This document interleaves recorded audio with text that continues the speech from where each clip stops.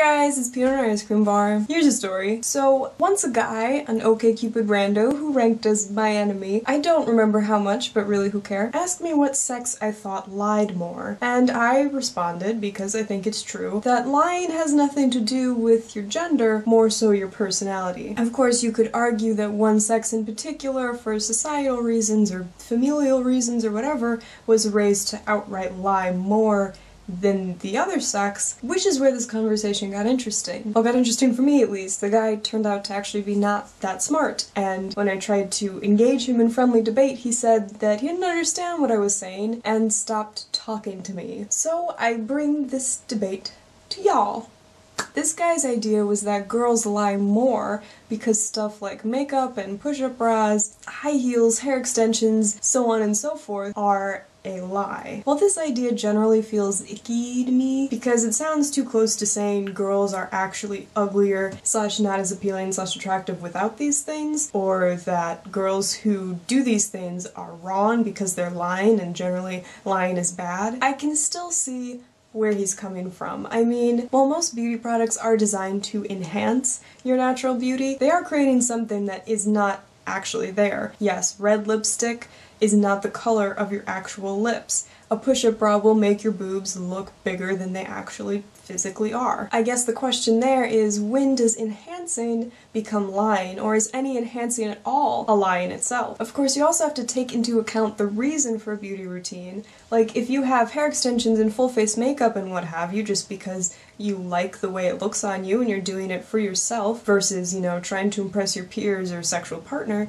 does that make it less of a lie? Personally, I don't see any of it as a lie at all. A lie would be saying, yes, this is really what my skin looks like for really real. I promise. Which is kind of silly in a world where we know it's all just additions. I mean, don't we? It also calls to point the question of when beauty products go from being lies, possible lies, to social norms. I mean, people have been using things to enhance their natural looks since pretty much all of recorded history, so it's not like we're really doing anything new. And at some point, you could almost argue that it's more socially wrong to not do these things than to participate in them. In my personal opinion, again, this is my personal opinion, if foundation is a lie, then so is this shirt.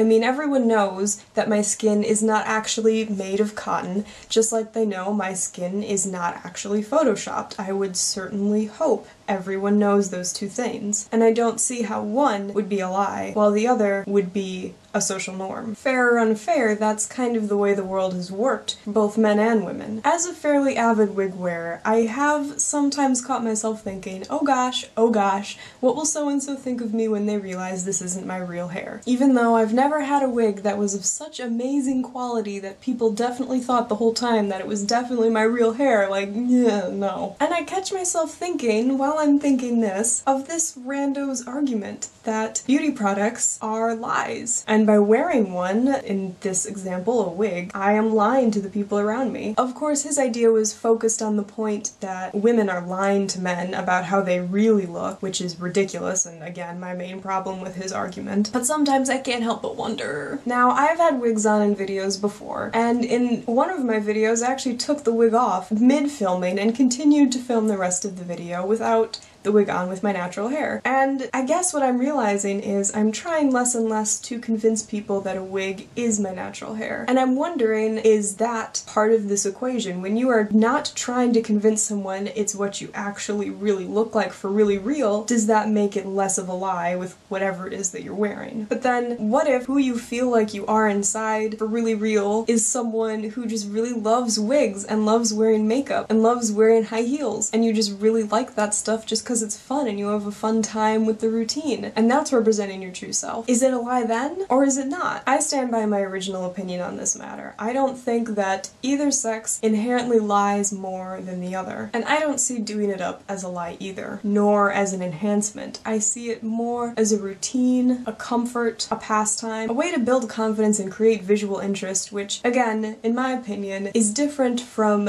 you know, sexuality or attractiveness. Anything you adorn your body with with. Extra hair, piercings, tattoos, tiaras, jeans, socks, beanies, beads. As long as you do this in a way that makes you feel confident, then you're pleasing yourself, and I just don't see how that's a lie. But what do you guys think? Boys, men, ladies, women, girls? What's your opinion on this? As a final note, I will add this. Nowadays, the standard of beauty is totally unreachable. We all already know this, but photo editing, along with all we just talked about, all comes together to form men and women who are just far too beautiful than any person could ever naturally be. Now, I don't really have problems striving toward impossible goals. I think people tend to do that a lot in life, and that's okay, because if anything, it'll always be something to do and keep you busy. The problem is, right now, as a culture, we think people like Jennifer Lawrence and Angelina Jolie and Ryan Gosling and Idris Elba are all beautiful people. Fair enough. Yet we also know we almost never see them outside of the scope of one, a place where their images are edited or enhanced by a stylist or a computer, or two, out of the lens of here comes movie star blankety blank colon glamorous beautiful person. So if the standard of beauty, which is them, we know is not true, what exactly is real beauty? Who is the judge of that? Is fake beauty real beauty? Are those people beautiful even though we know it's not true? Is real beauty fake? Does an individual decide who is beautiful to them on their own basis? Is that even possible to decide who's attractive without going back to a group consensus or having that group consensus on who is beautiful affect your choices? I think the answer is way more complicated than I can imagine, and certainly more complicated than what I can put in this video. So please, tell me what you think. Weigh in on this. I've been thinking about this recently, especially this last bit, and it's all been very confusing. Then again,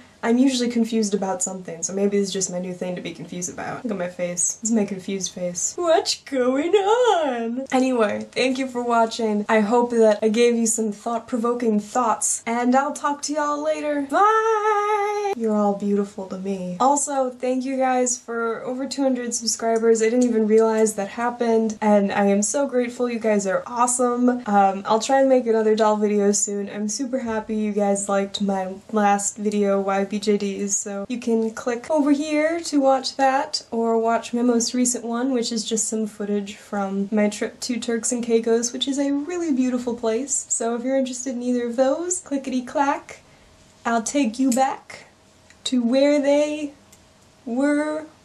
Yeah. Alright you guys, I'm off to start my career as a rapper. Bye!